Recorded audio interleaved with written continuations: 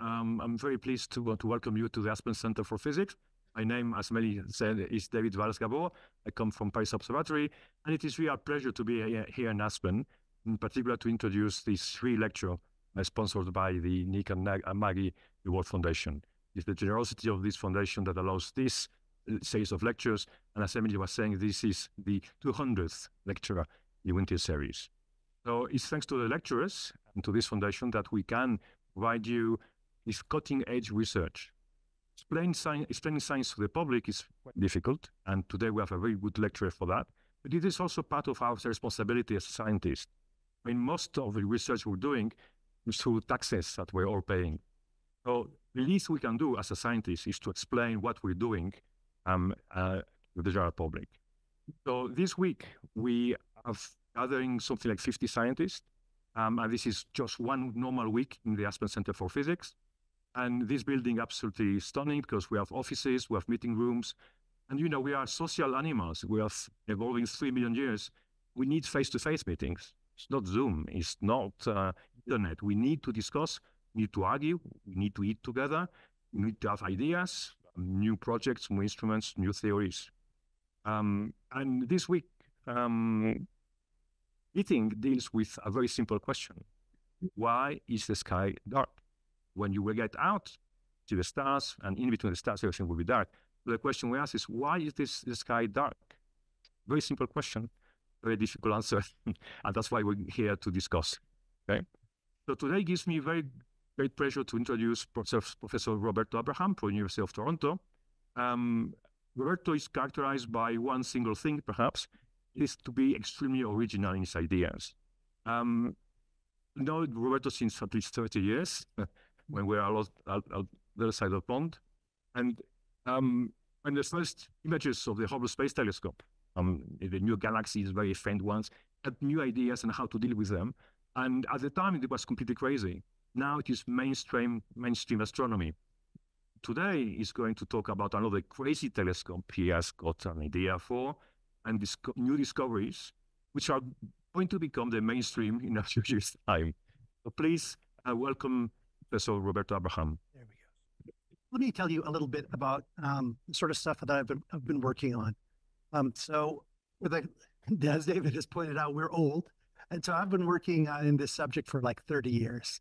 Um, I was pretty heavily engaged in some of the early work with Hubble then even more deeply engaged in the development of the Webb Space Telescope. So I was obsessed with Webb, okay, involved um, on the Canadian side with the construction of one of the instruments for this thing, and then uh, with uh, management and planning of it for better part of uh, 15 years.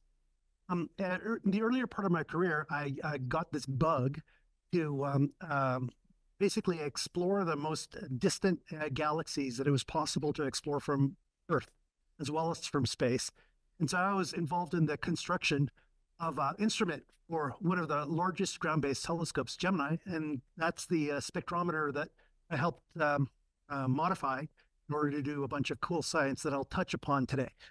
And basically, I'm obsessed with telescopes. I freaking love telescopes. Okay, I love everything about them. The thing I love the most about them is that they are a time machine, right? um, which um, what I uh, understood the implications of being able to see the universe evolving before my eyes as a kid. That just blew me away. Here I am, 58. I'm an old man, and it still works for me. Okay. But there are certain elements of frustration. Okay. And so that uh, recently uh, I, I've decided that, um, you know, despite being, um, you know, engaged in all of these huge billion dollar class government sponsored projects, I'm kind of losing something because they're so expensive and they take forever. And um, I see these young people coming up in this subject. And um, I, I realize that if I was one of those young people, it would me, you know, to see these projects that I couldn't really get my hands on and that took decades to come to fruition. So realize that sometimes it's better and certainly funner, mm-hmm. okay, to be a pirate than to join the Navy. And that's going to be a theme of this talk. So, why am I so frustrated? Okay, why am I so frustrated? Okay, so I'm sure this is one of the few graphs I'll, I'll present. Okay, but this one is special because what it shows is on the, the y part of the axis, size of the largest telescope that exists on Earth as a function of time. Okay, so it's time on the x-axis and its size along the y-axis. That's a logarithmic plot along the y-axis, and this is a straight line, which is telling you that this is an exponential growth situation. Okay, an exponential growth sounds pretty impressive, right? I mean, we've all, sadly, we've all lived through a pandemic. Know, when we were talking about exponential growth and the implications and how it's all super bad because it's an exponential. But the thing is, exponentials can have different times for growing. Okay, so when we were dealing with the pandemic, uh, when it was really bad, it was doubling every three or four days. Um, and then when we mitigated it, it was doubling every month or something, right? This is a situation where the size of the biggest telescope on Earth doubles every 50 years. That is crazy. Okay, we can do way better than that, right? In like 50, 60 years, we went from the Wright brothers having, you know, somebody walking on the moon. So you're telling me that, you know, takes 50 years for somebody to be smart enough to figure out a way to double the size of a telescope. I feel that's intolerable. I feel that's why you should basically, um, you know, aspire to more than having that, which is Galileo show, showing, I guess, the Venetian Doge something through a telescope. This, which is, uh, you know, a, a, member of the largest class of modern telescopes. That's Gemini. We can do better than that. That's why I've, I've embarked on this piracy. Okay. So I'm going to tell you a story of how I became a pirate. And so with like with all stories, it begins with once upon a time. So once upon a time, the University of Toronto had this observatory, the David Dunlap Observatory. For about a week in the 1920s, it was the world's largest telescope. Um, but it was built, the city of Toronto, which is not the smartest place to build a large telescope. Okay, so um, this individual, okay, was my predecessor as chair of the uh, Department of Astronomy at the University of Toronto. That's my role at the moment. Uh, but this is a fellow by the name of Peter Martin. Peter Martin, he looks kind of like Gandalf the Grey, and he is sort of a magician, a wizard, okay, because he figured out a way to turn that old telescope into huge piles of cash, okay, uh, through uh, a process um, wherein um, you know it was sold off and used to to fund a new institute. And um, the, the, the new institute, uh, basically, I was involved in the planning of this thing. At the same time, I did a bad thing, okay, which is I started reading books of philosophy. Don't ever do that, mm-hmm. okay? It's it's way better to have an unexamined life. Mm-hmm. Uh, you're be much happier, okay? Because I started looking like this guy. Okay, so this is Sir Karl Popper who wrote this book, okay, The Logic of Scientific Discovery, which is basically you know how to be a scientist. So Sir Karl wrote this book, and basically, if you read through uh, Sir Karl's book, he says, uh, you know, here is the avatar of scientists. Okay, so this is Johannes Kepler, the guy that worked out that planets, uh, you know, rot- rotate about uh, stars in elliptical orbits, um, and the, you know, uh, the ethos of Sir Karl's book um, manifested in this person's life. That what you should be doing with your life is you should be falsifying mathematical models. So there should be like a well-defined mathematical model, and then you should dedicate your life towards determining whether it's right or it's wrong. And if you find that it doesn't fit the data, you're like, it's wrong, and science moves forward because you falsified something. And I realized that isn't how I do it. That's not at all how I do science. Okay, so if I have to have a stamp with how to do science, I'm way more like this guy. So this is Leif Erikson. I know 2024, it isn't that cool to be idolizing explorers, but I totally idolize Leif Erikson, who discovered America, you know, in, in Canada, by the way, well, in Central America, like you're told, okay, um, before Columbus. And uh, Leif Erikson's philosophy was to just basically, you know, discover things by looking in places that nobody's ever looked before. That for me was what made me want to get into astronomy in the first place, right? Because, uh, you know, I didn't want to be like one of these boring particle physicists, you know, who are doing it the Kepler way. No, you know, I wanted to be Leif Erikson. Um, okay, so at the exact same time, my colleague Peter Van Dokkum, who was then chair of the astronomy department at Yale, came to visit me in Toronto, and we went out uh, and we talked about this stuff. We realized that he felt exactly the same way. Okay, so Peter and I were old friends. We discovered that we felt exactly the same way. This is clearly some sort of midlife crisis we were both having. Okay, so we we basically at that point determined that we were having a midlife crisis. We were going to solve it by going out, having a bunch of beers, making a plan. Okay, so here's the the plan. Deal with uh, Peter and and my midlife crisis. Okay, so we're going to spend a bunch of money. We just had this new institute, and I was involved in the planning. So let's just say I could structure it in a way that it could help professors out. who Had good ideas. Okay, and so we were going to figure out a way to build a better telescope. We this idea of doubling every 50 years, no, to build a better telescope. And furthermore, we are going to be both Leif Erikson and Johannes Kepler. Okay, so that's not, doesn't sound that easy, and in some ways it wasn't. Some parts were easier than others. Okay, so being Leif Erikson this subject is actually the easy part. Okay, um, because in astronomy, as I'll quantify a little more in a moment, you know, 97% of the universe is completely unknown. Okay, the stuff we're familiar with, you know, the atoms that make up this this podium and me and you that we're breathing, now those are only 3% of the universe. And 97% is, you know, dark matter or dark energy, which we have not the first clue about. So it isn't that hard to launch off into the unexplored in astronomy because we know so little. So it's easy to believe. On the other hand, it's hard to be Kepler. And the reason is because we're such ignorant doofuses about the way the universe operates, actually hard to have good mathematical models that predict stuff. And the theorists that come up with these mathematical models are really smart. And they're so smart, they don't like to be made to look stupid. So they make predictions in such a way they're actually hard to falsify because they don't want to look stupid. Okay? So let me try and explain this a little more. Explain the model and I'll explain why testing it is so hard. Okay, so 97% of the universe is dark matter or dark energy. We are 3%. Okay, so for the moment, we're going to focus on the dark matter. Okay, so the dark matter outnumbers the stuff made up of atoms like five to one. Okay, so the majority of of the uh, of the framework explaining how galaxies form in our universe relies on dark matter.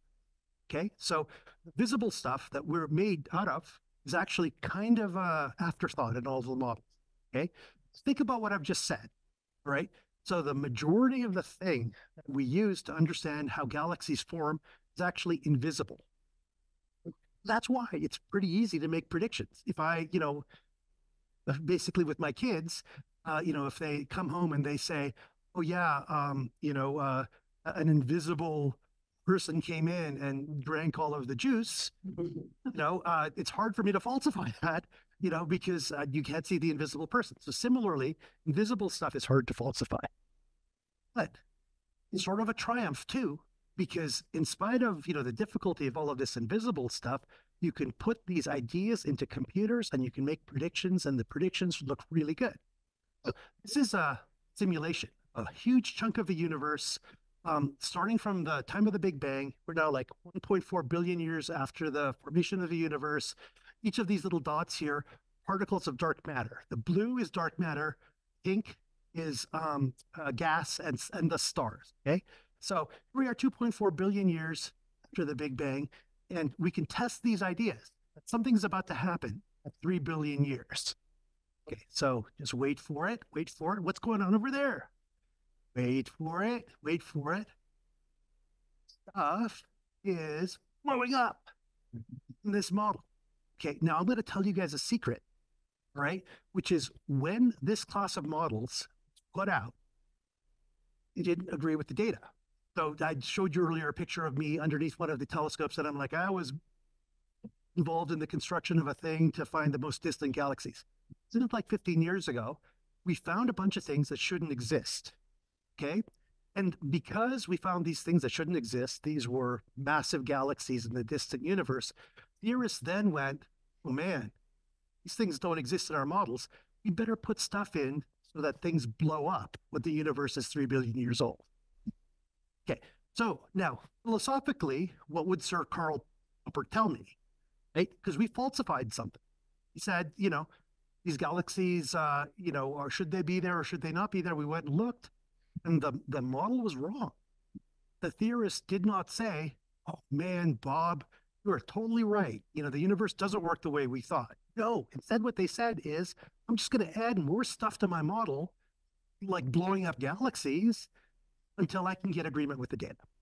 So that should make you unhappy. Okay. Because we shouldn't be able just add stuff to our models to explain things rather than say that they're wrong. On the other hand, though, if you look at the predictions of these models, they are a triumph, right? You can put all this stuff into a box in a computer, run it forward 14 billion years, which is approximate age of the universe, and you wind up with things that are just dead ringers for galaxies. So that makes me think there's something to this, right? But it's unsatisfying.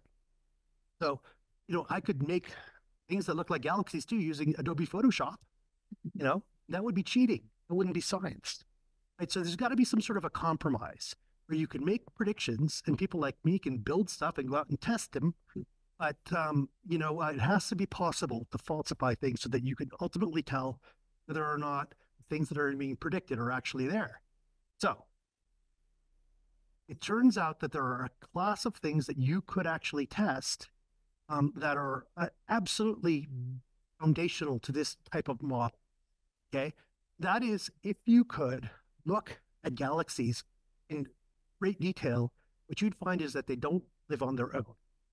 Galaxies live with other little galaxies around them, and little galaxies around them have littler galaxies around them, kind of ad infinitum. So it's a hierarchy. That's why this is called the hierarchical model for galaxy formation. So our own galaxy, the Milky Way galaxy, we do have a buddy.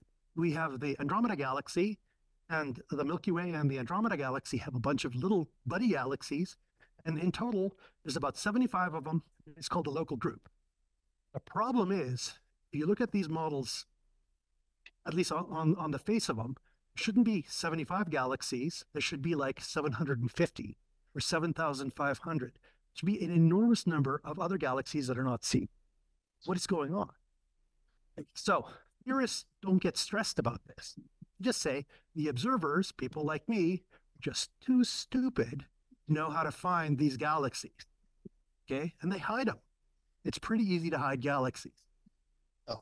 I'm going to have to introduce you to a slightly abstract concept called surface brightness. Okay. So the three circles that you see there, okay, have the same total amount of light. So the reason that the circle on the far left is super obvious to you, the circle on the far right is almost invisible is because of contrast. You're taking the same number, same amount of light and you're stretching it out. So this is just a toy simulation. It's the exact same idea with stars and galaxies. If I have a, a galaxy and it's full of stars, it has, you know, a billion stars, it's super easy to detect if the billion stars are concentrated in a compact bit of space if I spread them out over a large area, then that galaxy becomes almost impossible to detect the low surface brightness galaxy. Oh, all the theorists needed to do to say, well, we're only seeing like 1% of all the galaxies in the universe is to say that's because most galaxies in the universe are low surface brightness. You can't see them with your telescope. So when you see that, somebody will say, you know, there's a galaxy there. You just can't see it. It's just too big. It's too low surface brightness. So that is the get out of jail free card has meant that theorists could predict anything. Okay. And it'd be almost impossible to falsify. That is what Peter and I, in dealing with our midlife crisis, decided we were going to come to grips with. Okay. So, with the course of the last 50 years or so, because astronomers are, are great building things like Hubble Space Telescopes and the James Webb Space Telescope, we figured out to be about a factor of 500 better in terms of our capacity for seeing compact galaxies. Webb is awesome. The stuff you read in the papers, nobody reads papers, stuff you see on the internet about Webb, all true. Okay, we're now seeing galaxies, you know, uh, 200, 300 million years after the creation of the universe, infant galaxies forming almost at the moment, the earliest moment it's possible to condense stuff out of the material of the Big Bang and form a galaxy. We're seeing them now with Webb, that they're compact and they're small. That's what our telescopes are capable of doing. But can you imagine what you would see if you could devise a type of telescope inspired by progress in things like cell phones that would allow you to see low surface brightness galaxies that are undetectable with regular telescopes. That's the goal. To do something technologically disruptive. So, let me tell you about the. There's only one telescope fact you need to know. Okay, for understanding the nature of the disruption. Okay, so you cannot like if you look at your cell phone, you know there are three little telescopes in this thing, right? And there are three little lenses of different sizes. Um, now the degree to which these things magnify depends on where it brings light to its focus. Okay, so that's called the focal length. So if you bring it to a focus here, it's going to magnify far less if you bring it to a focus. Okay, so these things in here are bringing light different foci, having little periscopes in, in your phone so that the light comes in and then it's brought to a focus at different distances. But there's a limit okay, to the least amount you can magnify with a telescope. That is the, the closest you can bring light to a focus with any lens or mirror, half the diameter the lens or mirror. Okay, so that's called the focal ratio, and there's a minimum focal ratio of 0.5. Oh, why should you care? Okay, so the reason you should care, because if you want to see big things in space, remember that's not what our telescopes are usually designed to do, big things in space, you want them to have a short focal length. Okay, you want them to be stubby. Um, but I've told you that there's a minimum stubbiness, right? So big telescopes are better telescopes, but it means that you can't have big telescope that doesn't magnify very much. All big telescopes have to magnify a lot, which means that big telescopes can, by their construction, only see small portions of the sky. So telescope either has to be small, or if it's big, it has to have a gigantic sensor. So in this thing, there's a little chip. It's about that big, okay, and that's where light comes to a focus. That's what takes your image. If you want to have a big field of view, see a lot of the sky at once with a big telescope, that's the size of your sensor. Okay, they're enormous, and every one of these things is an individual chip. So this is the um, sensor from a telescope that's now coming um, online in Chile called the Vera Rubin telescope. It's awesome. You're going to hear a lot more about it over the next couple of years. But its design requires an enormous sensor, many, many millions of dollars, and each patch of the sky is covered by one of those little chips. That means compromise has to be made. Which is if stuff is big, can't really see it well with that telescope. Similarly, it has to be really complicated. So this is a cross section of that telescope's design, and this is a prototype camera for it. So what you can see here is that there's all of the scattered light and ghost images that prevent you from seeing big things in space. That's bad. But that's just the reality, right? There's nothing you can do. This uh, at 0.5 law of the universe, there's nothing you can do about it, right? Well, not so much right in fact, wrong. Okay. So there's an alternative. Okay. So don't use it such a big telescope. Okay. Now you need to gather a lot of light. Little telescopes don't gather much light. They can have short focal lengths. So this, this little telescope, this is the king, the telephoto lens. Okay. This is like what you're salivating over if you're a paparazzi and wants to take pictures of celebrities at Sundance. Okay. This is uh, the ultimate a telephoto lens. So it's um, twelve thousand to fifteen thousand dollars, depending on when you choose to buy it. Okay, and it's a it's a fabulous telephoto lens. Its field of view, when you point it at stuff in space, is you know kind of comparable to the field of view of that giant billion dollar telescope I was describing a moment ago. It's only small, right? And one isn't really going to do it. So there's a better number than one. Okay, the better number than one is ten. Okay, so uh, the technologically disruptive thing is that because people have been spending billions of dollars investing in the sensors for your phone, the sensors for your phone are now unbelievably good. Okay, so they have um, this is going to get nerdly, but they have you know read noise almost nothing, which means that there's almost no difference, essentially no difference between taking 10 images of something and then digitally adding them up instead of having 10 little telescopes. You can make a fake bigger telescope using technology. A digital telescope is just as good as a bigger telescope, except for it's not stuck with this law of thermodynamics total length problem. Okay, so 10's a pretty good number. I think you'll agree. But you know, I kind of like 24 more than I like 10. kind of like 48 more than I like 24. Number I really like is 168. Okay, so this is um the, the big idea. Okay, and it's called the Dragonfly Telephoto Array. It's located in New Mexico and it's operated robotically. This is uh, the current state of the art wide field imaging telescope. Nothing on the planet can touch it. Okay, or the niche science that I'm going to describe. So, this is formerly uh, world's biggest all lens telescope. It's the Yerkes 40 inch telescope operated by the University of Chicago. You might recognize this fellow over here. So, um, know, we haven't been building telescopes you know, lenses for about 100 years in a serious way for professional astronomy. Uh, we made a move to having these big mirrors. These big mirrors scatter light. So if you want to do things at low surface brightness, you have to go back to the idea of the all lens telescope. But this is what the current day largest um, all lens telescope fracture is, and that is 48 lenses, okay, of the Dragonfly telephoto array. So when we hit 48, we were slightly bigger than the University of Chicago's telescope. Now we're the world's biggest. So when I say we, what I mean is Peter and me, but most importantly, the amazing students and postdocs on our team. Okay.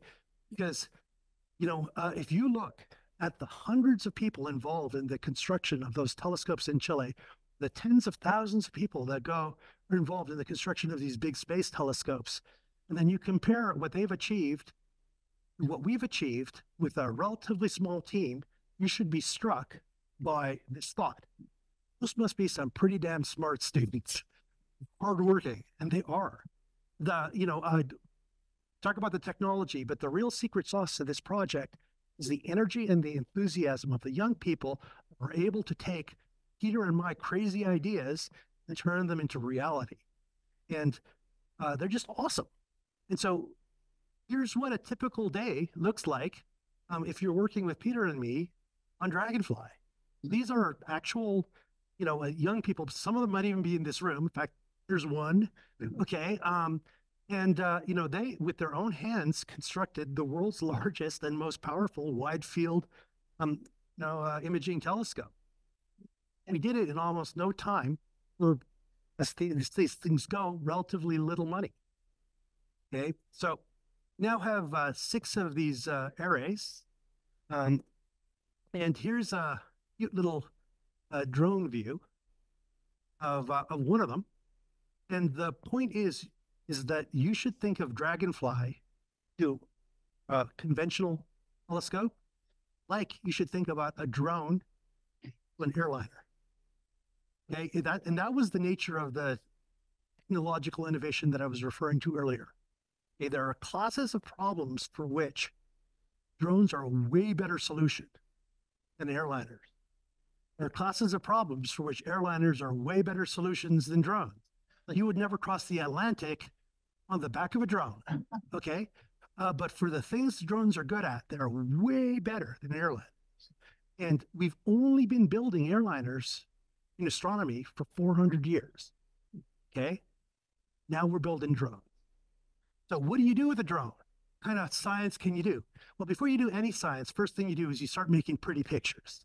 Okay, because uh, honestly, got to inspire everyone, including yourself.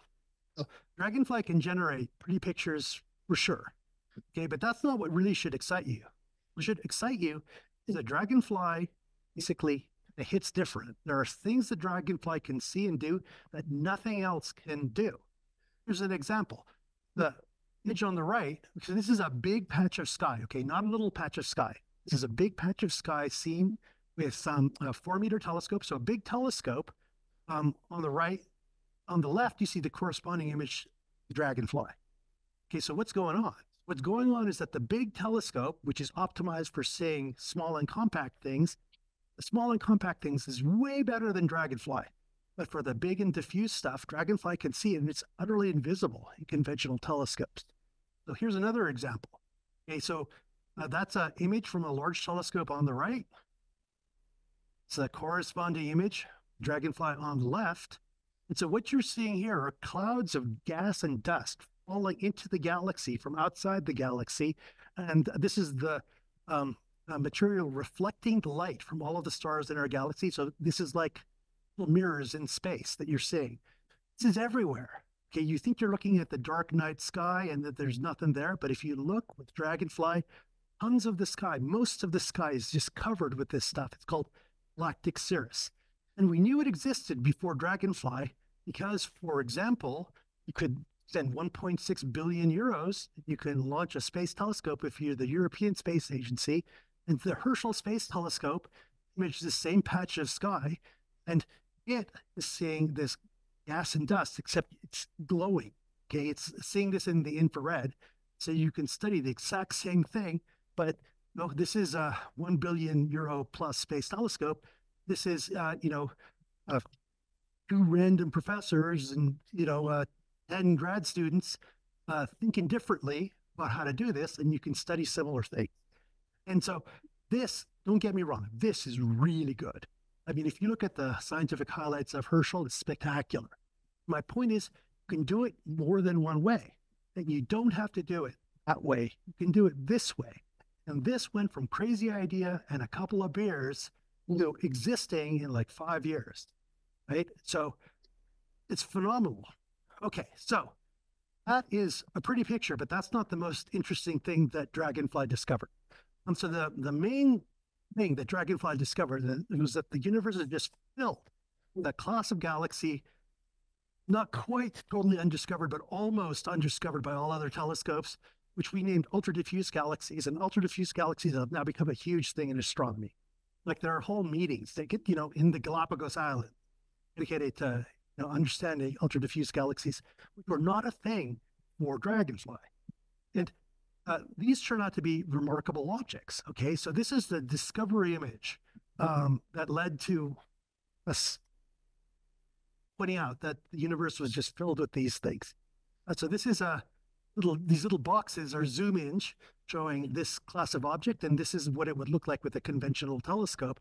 So it's no wonder why these things were missed for so long look like little smudges. You didn't know if they were real or if they were a ghost or whatever in your image. But it turns out that they are real and the universe is just teeming with them.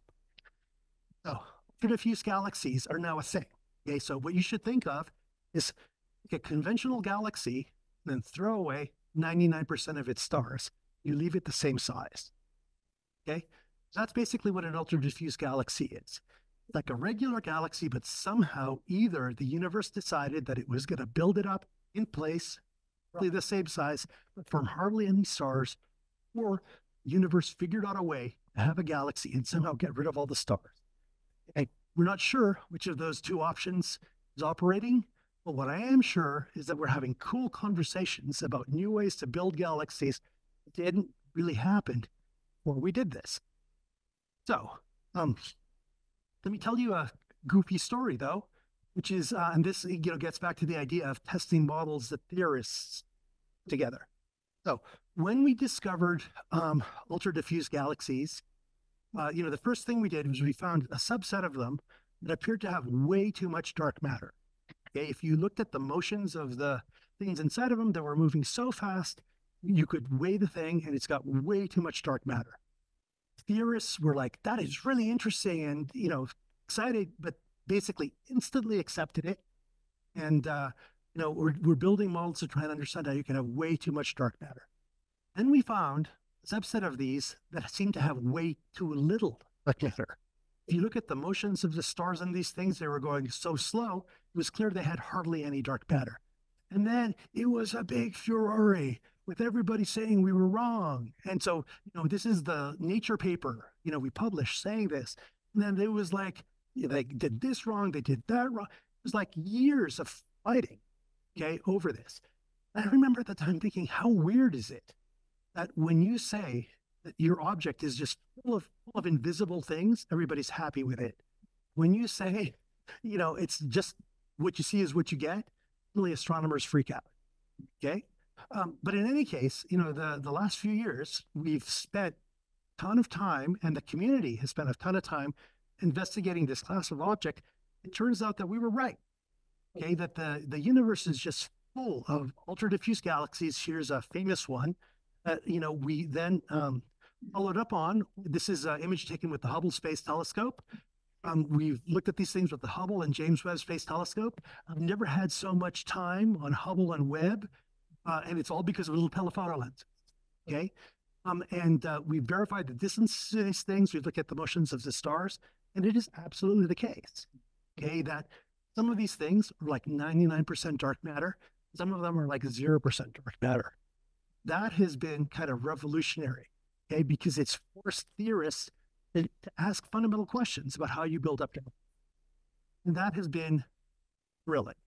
Okay, when you actually, uh, uh, you know, build a thing with your own hands, and you upend uh, in some way, um, you know, I, uh, establish ideas for how the universe works is the most awesome feeling ever. So young people in the room, you should contemplate a career in astrophysics. It is really great fun. Okay, so the latest thinking on this is that if you look at some of them, um, the uh, the arrangement of uh, of uh, dark matter free galaxies and the arrangement of conventional galaxies, in some cases they're conveniently in a line, suggesting that what's going on is you have a regular galaxy and another regular galaxy. They smack into each other, uh, um, uh, form a bunch of stars and gas. Um, at the point of collision, dark matter flies through. That's how you wind up with a segregation between uh, galaxies with a lot of dark matter and galaxies with hardly any. Okay. So that was pretty great. Okay. But um, that was yesterday's news. Okay. So the appropriate question to ask after that was what do you then do next? This dragonfly thing's been pretty good, but now lots of people are looking into low surface brightness galaxies. It's become a big thing in this community. And we wanted to do, continue to do innovative, new, and awesome things. So unfortunately went back, did more philosophy. Okay. So this is uh, Greece's greatest, greatest philosopher, Socrates. And uh, this is uh, Canada's greatest philosopher. Okay. Um, this is almost before you're allowed to become a Canadian citizen, they test you on this. Okay. Do you know this quote? Okay. So, uh, so Wayne, uh, the great one, Gretzky, said, I skate where the puck is going to go, not to where it's been. Okay, so uh, that's now such a misquotation. It's become kind of hackneyed and used by a lot of people, but honestly, that's kind of how we live. And so let me tell you where the puck is going to go. Okay, this is another one of these numerical simulations, big boxes of the universe. Uh, this is uh, the distribution of dark matter. And this is the distribution of stars forming at the nodes of the, the this dark matter you should look at this and and you should say, wow, that looks either like a squash bug or it doesn't look anything like this. Okay, it doesn't look like the stars. This is the stuff you see. This is the stuff we pick up with conventional telescopes. It looks nothing like this. So we're trying to figure out what's going on here by looking at this. Ain't good. That's bad. Okay. What you could do, maybe, is look at this. Okay, so this is the gas from which these things form. The problem is the gas from which these things form is transparent and visible. Okay, very hard to see. So it would be great though if somebody could come up with a technique that would let you get this. Because if you could look at this, you would understand the geometry of the universe on its largest scales and also you'd be able to figure out exactly how galaxies form because the story of galaxy formation is now in that gas. It's you make the stars out of the gas, we can't see it. If we could see it, we could see it going out of galaxies, flowing into galaxies, building the thing up. You could see the galaxies form before your very eyes, and we know the gas is there because we have some techniques using quasar absorption lines. Don't worry about it. But anyway, we know the gas is there. Okay, but nobody knows what it looks like. But if you go to your computer and you ask your theorists to predict what the gas looks like, it's hugely extended relative to the galaxy. So galaxy you see will be this tiny portion, but the gas will extend incredibly far out, running into the dark matter in this thing called the cosmic web. So if you could see the cosmic web, you would see the majority of the universe's regular matter. You would see it take on the form of the dark matter. You could see how the dark matter is building up galaxies. Wouldn't that be great? Okay. And if you could do that, you could also hold theorists' feet to the fire, okay? Because their predictions for what galaxies look like and how they form entirely depends on what's going on with this gas, which nobody see. But is that true? The gas is visible. It's nearly invisible. But if you're a half plus half full kind of guy, nearly invisible means it's visible. Okay. You just got to figure out how to see it. It's glowing. Okay. Now, if you look at the uh, surface brightness that you need to get to to see this mm-hmm. gas, need to be about a factor of 50 better what we can currently do with our with our conventional telescopes that it sounds totally impossible. And the big limiting factor is Earth's life-giving atmosphere. It's the enemy, this content. Okay. Earth's atmosphere also gives off glowing gas. You got to somehow see this glowing gas from the galaxy and get in between the glowing gas Earth's atmosphere, which is called air glow, which takes on structure and which moves. That's hard. Okay, it's hard, but it's possible. Okay, because uh, that air glow is giving off light at very discrete wavelengths. So this is a tiny portion of, of a bit of wavelength.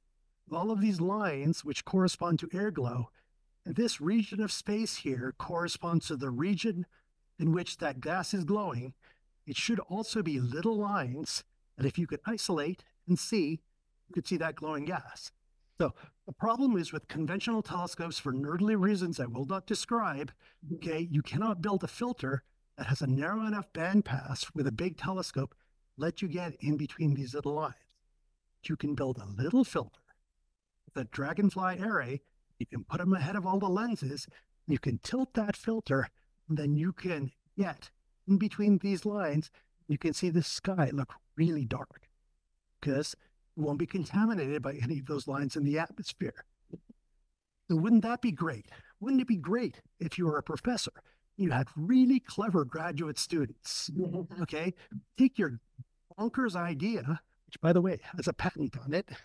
Okay. Um, and actually turn it into reality by going and negotiating with companies, manufacture these filters, design mechanisms to tilt them, to assemble them in huge arrays now, my um, graduate students are phenomenal. Here's one of them, Deborah Lokhorst, testing a prototype of this idea in New Mexico. Deb uh, just won the prize for the best thesis in North America last year for work in this. So, with a three lens array, nothing, okay, three lens array, uh, we were seeing structure coming together around one of the most famous galaxies known, studied for like a hundred years with three lenses and this clever technique, seeing completely new things, stretching out well beyond the body of the galaxy, almost touching the cosmic web. So, this is what we hope to see. Okay.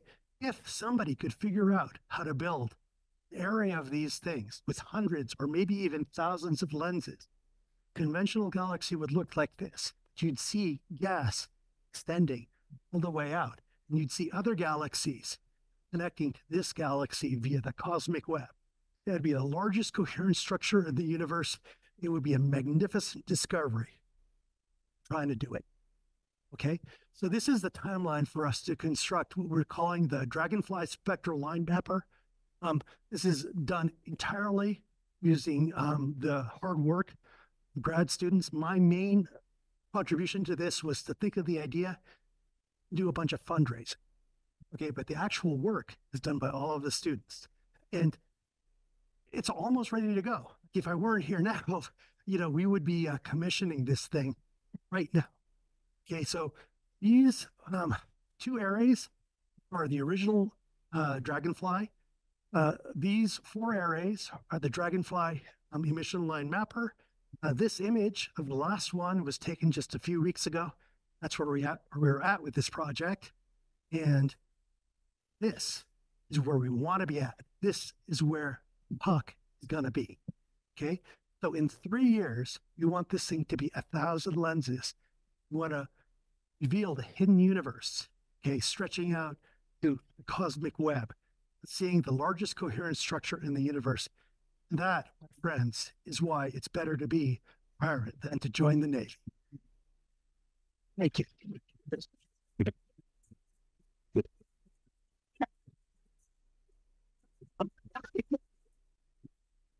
And for questions? Let me be started. Yes. That's right. So it's still impossible to see dark matter directly. You're still inferring it. Yeah. It's bad. Its effect on things we can see. Yeah. So the idea here is okay. The the um, the Big Bang it's mostly hydrogen and helium, and it uh, you know filled space. Um, and the, the dark matter, its main, its only way of interacting with that stuff in conventional models is via gravity. Um, and so you need something to collapse into the dark matter in order, and then somehow glow in order to make it visible. Um, so with galaxies, it's easy because of the glowing gas is dense and it's in the form of stars. The innovation here is that it's flowing into the dark matter. It doesn't have to be a star. It can just be the gas itself, the material left over from the Big Bang coalescing into the dark matter. You see the radiation from that, which is extremely faint, but it is real. It's there. Yes. Is there a reason why you show the next code like and have it spread out the different lenses further apart? Yeah. So Will you repeat the question?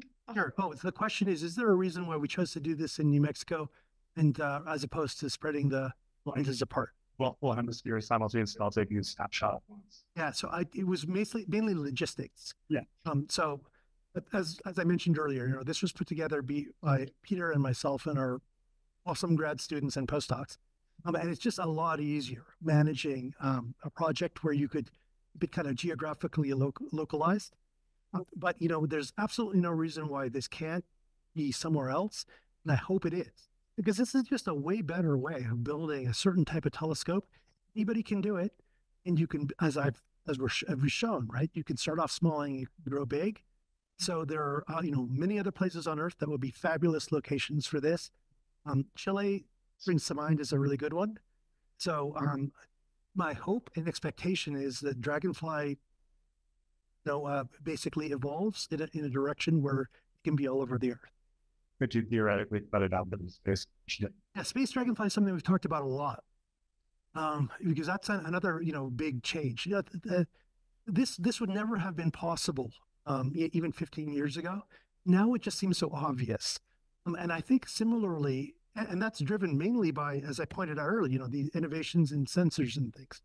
Similarly, access to space is really changing now because of uh, um, you know uh, things like reusable rockets it's not entirely feasible for you know a starting professor in my department with the startup we give them when we just hire them build their own little satellite. So imagine that you know like a young a young person you hire as a professor they're like i want to build my own little space telescope. It's totally doable. Um, so that was unthinkable a few years ago now it's very thinkable there are problems with realizing this particular concept in that model like um, you know part of the secret of dragonfly is managing the data each one of these things has a little mini computer on the back. They have to kind of talk to each other in order to work out best ways to stack the data. Um, and um, the easiest thing to do would be to take the data in space and get it all to the ground. That is a pretty formidable um, problem of telemetry um, that hasn't yet, I think, been solved, but it totally will be solved. Right? So we, we're indeed thinking about um, ways to dis- deploy areas like this in space. It would be a good way to go. Not quite there yet. And if I were starting out, that's definitely something I would be looking into.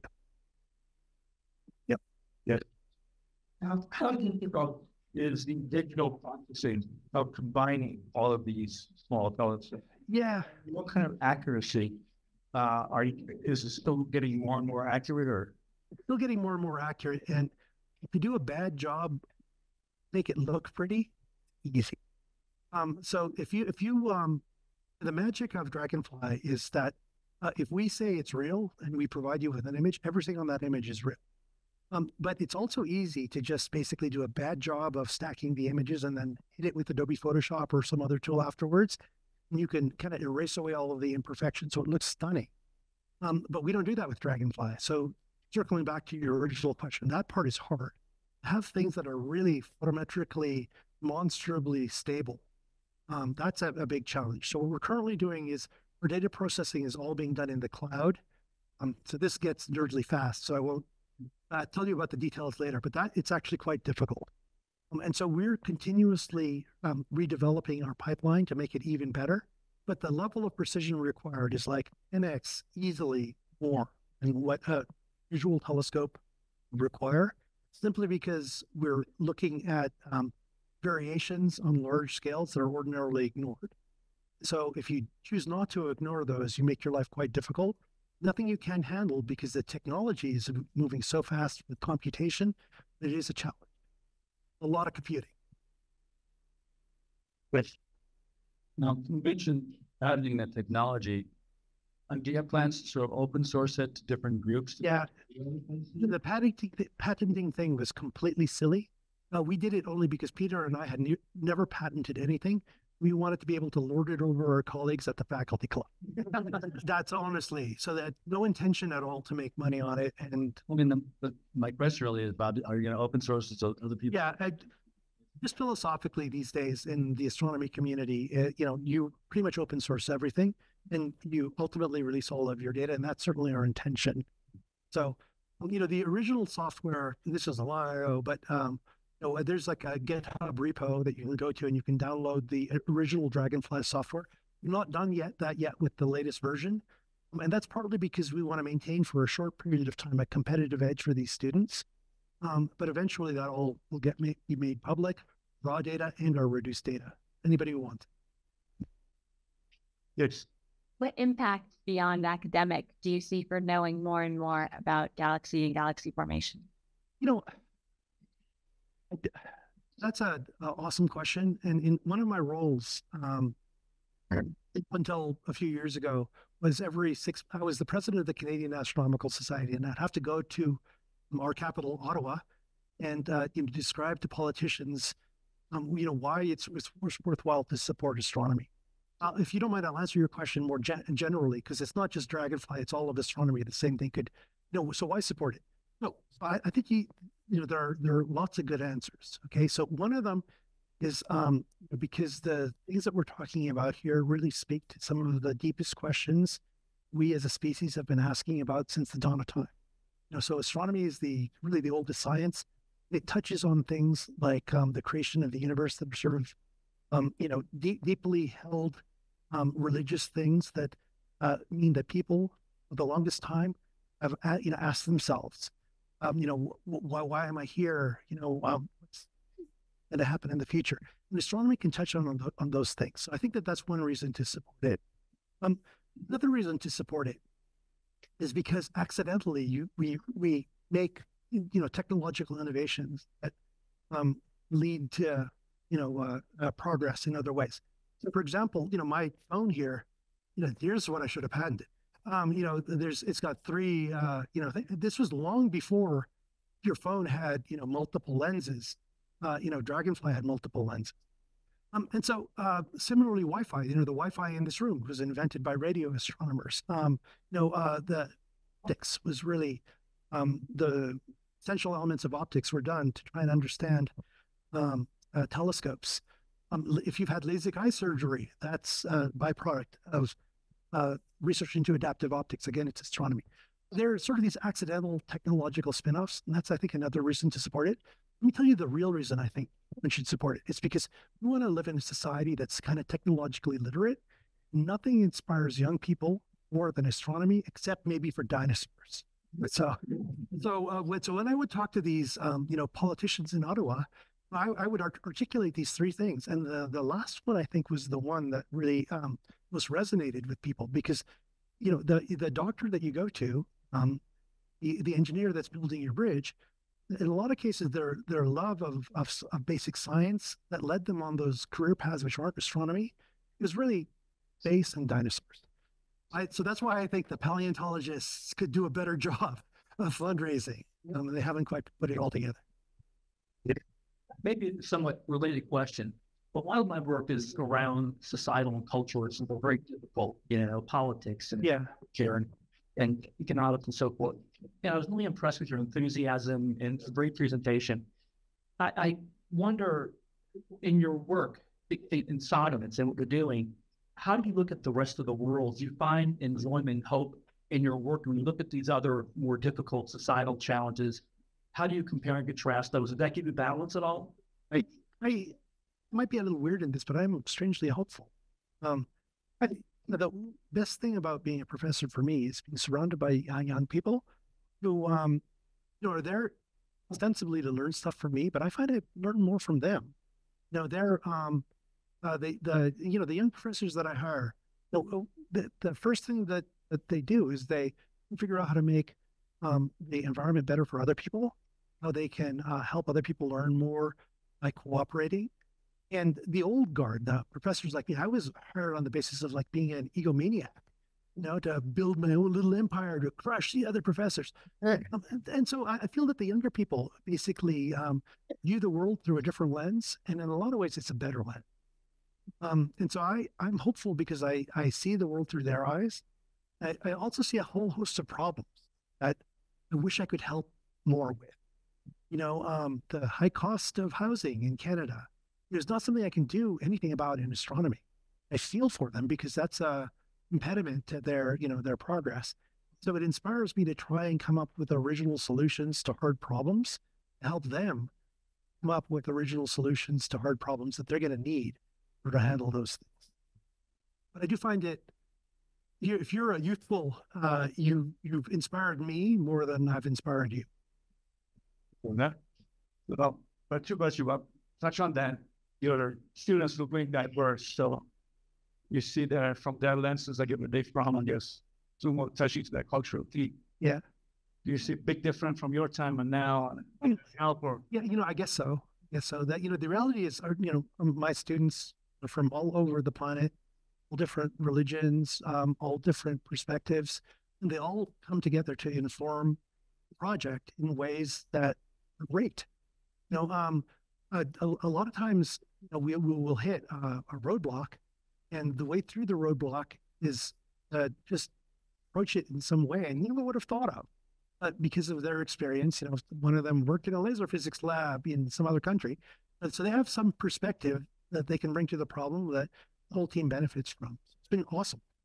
I'll, I'll tell you, it was an accident. You know, um, we, we didn't actively try and get a diverse group of students. We just a diverse group of students get involved in this project, get on board, and now everybody benefits. The Toronto is very diverse city. Actually, my first question. So, one my question. The first question was about uh, dark matter and gas. I guess I missed it. So, dark matter is not the gas or faint gas. Yeah, I, I guess the question was, does the dark matter itself glow? You know, is that can you see dark matter? You can't. Um, so you can see the effects of dark matter, and uh, one great way to see the effects of dark matter is through this thing called gravitational lensing. And the um, European Space Agency has just launched a beautiful space telescope called Euclid. Its whole reason for existing is to look at the subtle shifts in galaxies caused by distortions from dark matter. That's one way to go. And another way to go, which we're suggesting is a good way to go here, is to look at the subtle glow from the gas that falls into the very extended dark matter. We can see with our telescope that you can't see with a conventional. Not even gas. Is it different? It is well, it's, it, it is gas. It's a plasma. So you know, if you want to be pretty technical, it's a plasma, not a gas. But it's uh, it's um, you know, the Big Bang makes mostly hydrogen and helium. Only a tiny amount of that hydrogen and helium is in stars. The majority of it is in uh, plasma in between the galaxies, which we figured out a way to see. Well, All this, so, so you mentioned that is, um, in some galaxies is almost zero, in some a higher level Yeah. dark matter.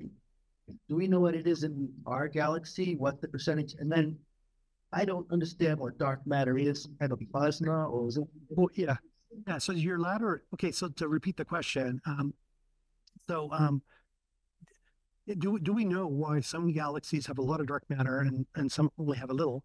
And then the deeper question and much harder, and uh, it's an excellent question, is what is dark matter? So let me answer the second one first. I have no idea. Nobody knows. Okay, you certainly get a Nobel Prize, probably multiple Nobel Prizes for whoever comes up with it. All sorts of ideas for it. Okay, from exotic types of elementary particle that are um, incredibly light to um, that's probably the smart money these days on um, exotic types of, um, of elementary particles. They're just barely um, more than weightless, but not totally weightless. But who knows? I have no idea. Okay. Um, and as for uh, what makes these um, uh, galaxies have much dark matter or too little, that's I, I'm not a theorist, so all I can do is kind of parrot they're telling me, and that is that there's uh, modalities of different types of galaxy interactions that weren't captured in the computer simulations. So galaxies that are uh, massive and are moving unusually quickly occasionally will smash into each other, and when they do that, uh, um, regular matter just stops dead. You know, it's like conservation of momentum. This thing you know, moves and hits this thing, it just stops dead. The dark matter flies straight through, so you pull it apart. So the dark matter is its own thing, while the regular material just stops right there in space. What you're left with is if you form galaxy out of what's left over of the regular matter, and you get a galaxy with no dark matter. Over here, you get these two big galaxies that are just matter. You know, the our galaxy and dark matter. Yeah, well, uh, the the the um